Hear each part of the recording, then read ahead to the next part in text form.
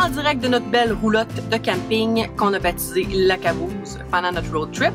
On est au Nouveau-Brunswick et on a déjà fait euh, plusieurs campings. On est vers la fin de notre deuxième semaine de vacances. Donc avec euh, notre couple d'amis chéris, on a fait le tour du Nouveau-Brunswick. On a couché dans toutes sortes de campings. Euh, là, on s'est posé chez la famille parce qu'on est dans leur cours, mais on dort toujours ici. Puis, c'est quand même considéré du camping. Je dis du camping, mais en fait, on fait du glamping, nous autres, parce que on, mange pas des... On mange des cochonneries, mais je veux dire, euh, bon, malgré que qu'on aime ça manger de la robiche en camping, on se fait toujours euh, des super repas. On, on prend le temps de, de, se faire des petits soins. Bon, vous connaissez, moi, c'est important d'avoir euh, mes crèmes et tout ça. Ça, je pense que je vais faire une, une vidéo séparée pour ça, mais je voulais juste euh, faire un peu le, le, topo avec vous autres parce que c'est difficile de parler en filmant comme les scènes sur le bord de la mer, euh, dans des endroits publics. C'est tout le temps du monde, ça parle, ça fait du bruit, puis euh, dans la nature, il y a beaucoup de vent, il vente pas mal ici.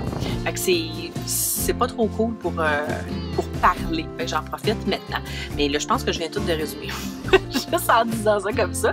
C'est sûr qu'on relaxe. En même temps, on fait beaucoup de choses parce qu'on visite plein de places. On a magasiné aussi. je vais vous montrer ça aussi dans, dans l'autre vidéo.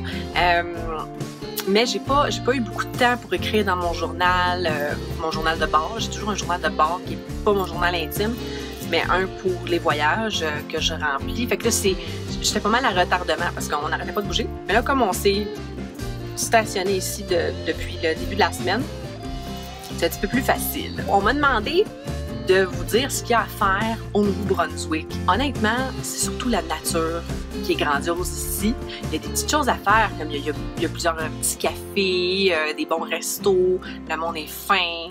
Euh, si vous voulez acheter des, souvenirs ces choses-là, il y a, beaucoup de, choses faites par des artisans, de la place avec du bois, euh, de la, du, euh, verre de, mer, là, comment on appelle ça en anglais, du sea glass. Euh, c'est des, beaux bijoux, là, les bracelets que je porte aussi. Euh, pas, pas mes, bracelets en caoutchouc, là, mais les autres.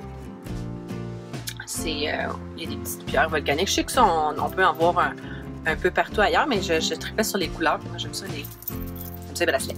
Et je m'en suis acheté. Euh, il y a des, des, produits de beauté aussi. Je vais vous montrer ça.